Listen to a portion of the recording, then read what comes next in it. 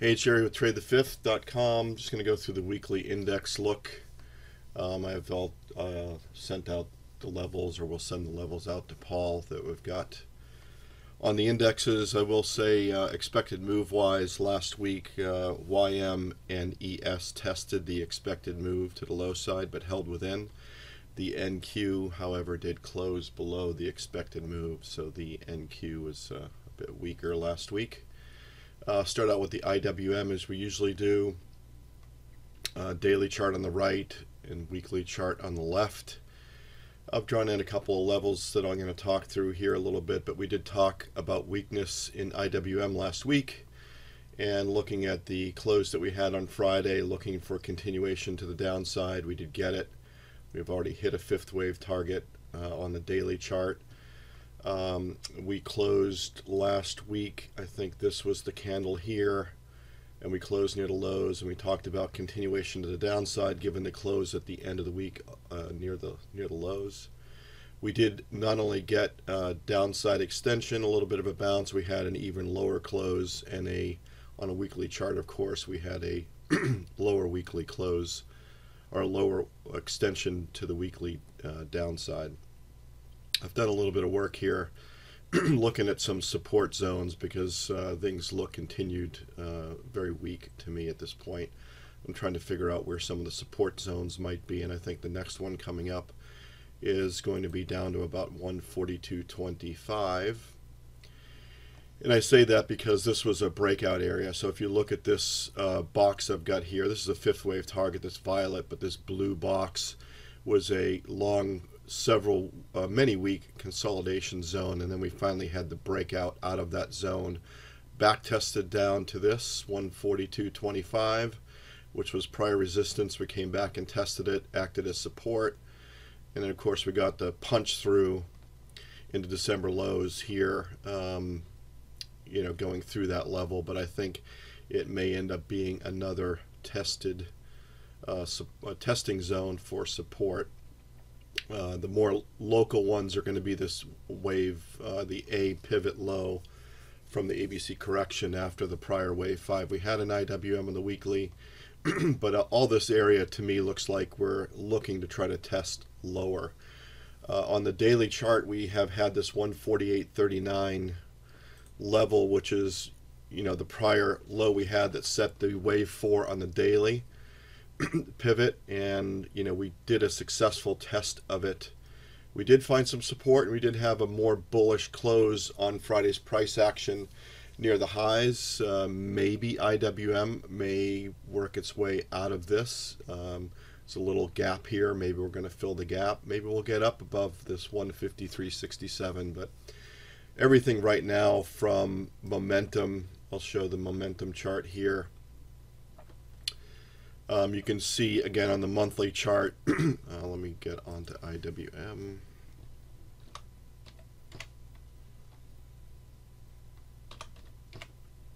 Come on. All right, the monthly chart, it's starting to hook over. That's really never a good sign when you've worked off this oversold condition back to the zero line. It hits the zero line and starts rolling over again. Uh, the monthly price action obviously is very weak. Uh, going into the close of May, we, we may end up getting a uh, monthly close down near the lows, maybe even broke the, break the low we've already had. Uh, as I said, the weekly looks low. So from a momentum perspective, the RSI has rolled over on the monthly. Uh, the MACD has rolled over on the weekly. We had, you know, we've now crossed down below the zero line, which means the Shorter term moving average, the three period weekly is moved below the 10 period weekly, bearish. Uh, we're getting still lower extension on the weekly chart and IWM and on the daily chart. Uh, I've, uh, let me maximize that. I'll just zoom in on that a little bit. On the uh, daily chart, I have started to draw a downtrend channel here and we're looking to continue perhaps to break this uh, prior pivot for low And as you can see, this is starting to print a wave one, a wave two. We've already broken the wave one pivot. if this comes back up, it's going to turn into an ABC correction, uh, but it's going to get back up, I think, above the two pivot for this to turn to an ABC and start heading back upwards again. Uh, none of the momentum indicators really indicate that uh, that's likely going to happen. We've got the MACD rolling over in the daily. RSI did have a little bit of a bounce. We did have a stronger close on the daily, as I talked about here a second ago. Um, but the other indexes are really not that supportive of continued bullish price action. You know, the all the China tariff news and economic indicators and Brexit and all these other uh, risks seem to be pushing indexes towards their uh, lower lows, and that's what we're seeing here. The the bonds have been still somewhat bid. We do still have inversion of the three month and 10 year um, yield curves. And as we start getting, uh, you know, maybe weaker into the two year, 10 year inversion, which is a little bit more of a bearish signal, I think uh, we'll get a little bit more press than the second wave of the three month, 10 year. Um, we'll see what happens. But bonds have been somewhat bid over the week, and uh, bonds going up is a risk off situation for the indexes. Okay, that's IWM. So look for continued weakness in IWM. It is below all the moving averages, by the way, the 200, the 89 SMA, and the 55.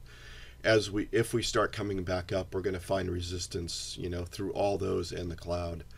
There's a lot of overhead uh, resistance to be thinking about in IWM as the growth index and the Qs Let me minimize that. And let me get my Q Elliott wave chart back over here. Same thing, the Qs is, you know, I've drawn a downtrend channel. The close was much weaker for the Qs than the IWM on Friday. Uh, you know, going into a three-day weekend, so the volume was not uh, spectacular. Um, not clear yet what to read into this on the weekly chart. We are we did close in the cloud on the weekly, uh, but we haven't yet punched through it and the weekly cloud is still you know headed up trend so until we start breaking down below this wave 4 pivot and head down lower towards this 169.17 area which was a prior support zone uh, that we had in the uh, triple Qs or this area here. Let me draw it. On a daily chart. Draw another support level. We have at this pivot here that we're pretty close to 176.60 so that's a couple of points away from that. Uh, we're probably headed down to retest that which is also the prior support we had in wave 4 it's been tested a few times. If we punch through it we're probably going to head down to 169.17 area and look for a test of that prior support in that zone. On the weekly as I said we're in the cloud. We break through the cloud we'll look for a retest and either get back through it or head down below it. If I look on my momentum uh, chart here, we talked about the Qs on the monthly starting to kind of curl and flatten out. The RSI is headed down. Um, you know, the momentum on the weekly is clearly bearish. The momentum uh, of RSI is bearish. And on the daily, you can see that the daily chart is uh, RSI is rolled back over MACD came back to the zero line, worked off that oversold condition in a pretty negative way. We really didn't get a lot of upward price action, and now we're rolling over again, as you can see in the multiple time frame cloud. Uh, the monthly is the bottom chart, and then the weekly. You know, we're in the weekly cloud here that closes on the weekly for the triple Qs, and we're starting to work our way into the cloud uh, area. We're still above the 200 SMA and the 89 the 55 uh, we're, we're now below it. And you know we could start heading down as I said towards these other support levels but the Qs are looking weak. The close on the weekly was uh, towards the low side. Um, you know we did get more downside extension and the Qs look uh, to be weak. So my view on the Qs is bearish The SPY was a little bit more mixed. If I look on the weekly, we actually had an inside week on the weekly chart here. You can see that we did not get uh, more downside extension on the weekly and we didn't break the high. So we've got a little bit more uh, triangular consolidation here in the SPY. I'm going to look at, uh, shove over to my Elliott wave chart here. Slide that over. You know, as we talked about before, we did hit the fifth wave target. We're in a bit of a pullback. We're hitting the cloud. Did not close inside the cloud. We tested it and got out of it again. Uh, the daily close on the SPY, however, was a bit on the weak side. Again, it was Friday. The volume wasn't spectacular uh, before three-day weekend. Um, but we are, again, testing the top of what was a long-term consolidation zone in this uh, box that we had between these two purple lines, the 281 and 260 area. We did spend a lot of time within that and you know broke out, tested back in and broke out of it again. And it does look like we're about ready to test back inside of it again. We'll see if the center line of the channel tends to be support like it was last time.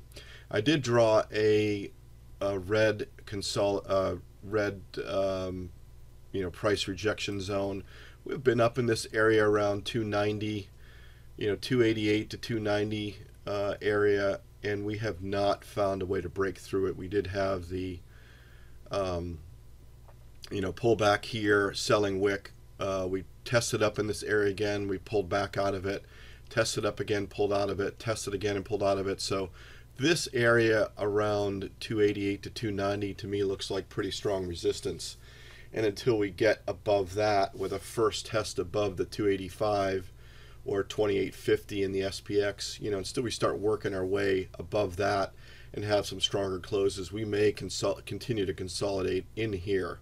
Now, this overall looks, you know, potentially like a little bit of a, a bear pennant uh, type price action, right? So we've got, if I draw in some trend lines here,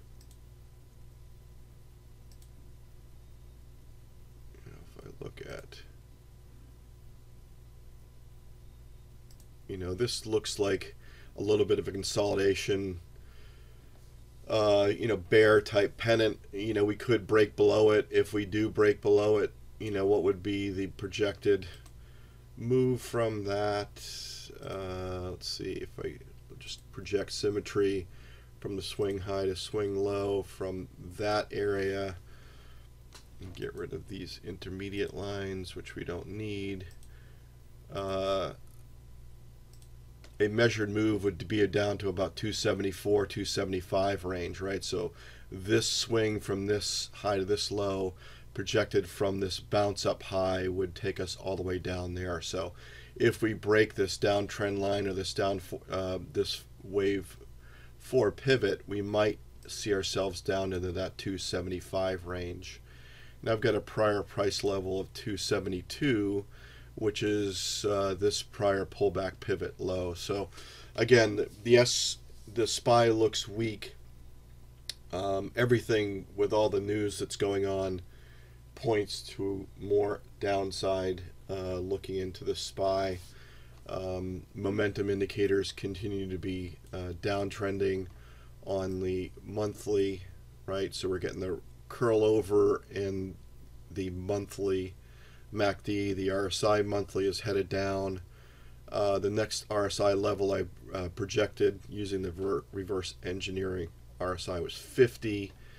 that gets us down to 281. Oh, sorry, uh, 280 uh, would be that level, the 280.44. If you get down to 50, um, you know, I just don't see anything that right now, unless we get some news coming out of the China tariffs or Brexit or something like that that gives the market some upside momentum. Uh, to me, everything still looks to the downside. So anyway, I'm going to keep it keep it there at uh, 15 minutes on the video. Um, I don't see anything else to really talk through. I, my bias is bearish on everything. Um, you know, maybe we're going to go into a neutral week uh, but everything right now looks like it's uh, still headed to the downside, and I don't see any news yet that gives us hope for anything else. Hope that helps. I'll send the levels out to Paul, and uh, you guys take care. Have a good Memorial Day weekend or a good weekend wherever you are in the world. Thanks. Bye.